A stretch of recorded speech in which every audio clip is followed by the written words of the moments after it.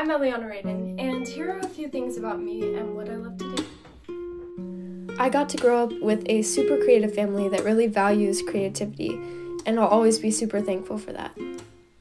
The list of things I love to do can be quite extensive, but let's just say pretty much anything creative.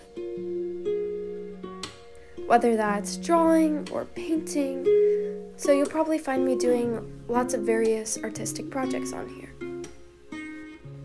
I also really love songwriting, singing, and playing guitar, and Yamaha guitars in specific. This is not sponsored, I just love them. but basically, you'll be seeing a lot more of that side of my creative process on here as well.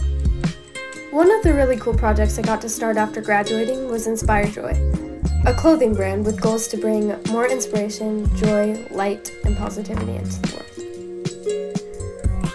And these are the shelves.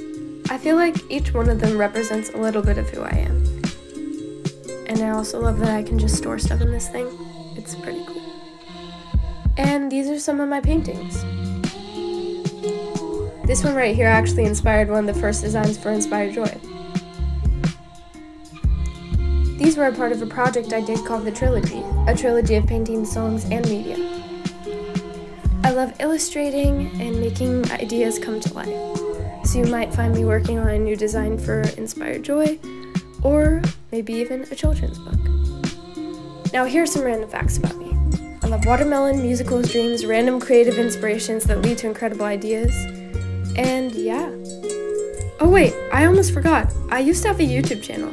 Shout out to JudeGamer760. if you know, you know. Those were some fun times and great memories. I think I still have a video up, but for various reasons, mostly that I didn't have time, I don't have that channel active anymore. So it'll all be here. Whether I'm working on my latest musical project or a big art project, I hope you find some inspiration here. And I'll leave my links to my website where you can check out my artwork and also the website where you can check out Inspire Joy below. And thanks for joining me on this creative journey. So that's a little bit about me and my life and what I love to do.